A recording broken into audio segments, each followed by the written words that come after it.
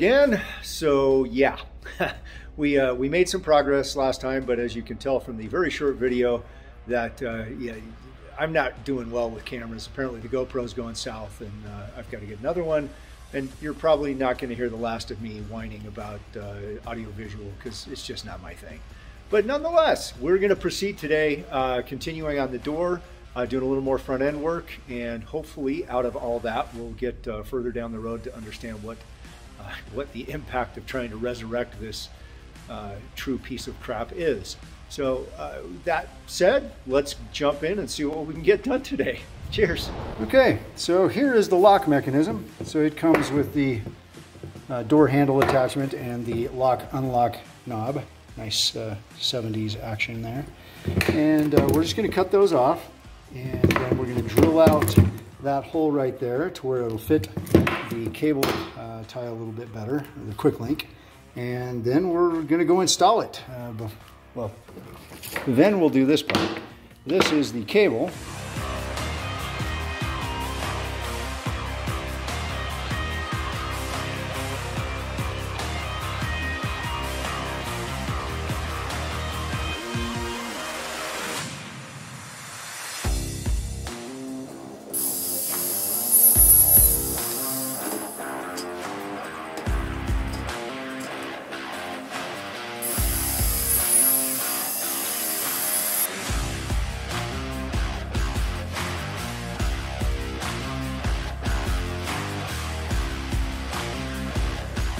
Is one of these for that. angle.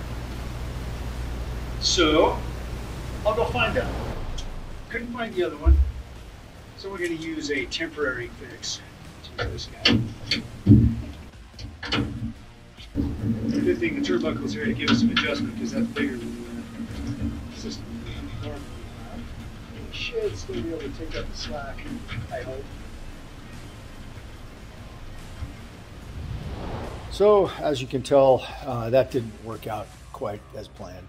Um, camera was definitely dying. Um, yeah, there's a new one on order. Who knows when that gets here. But uh, as it stands, we kind of got done with that driver's door. Still some more work to get it fitted properly, but at least it's there. And uh, next time we're going to work on the front end because we didn't even get to that at all.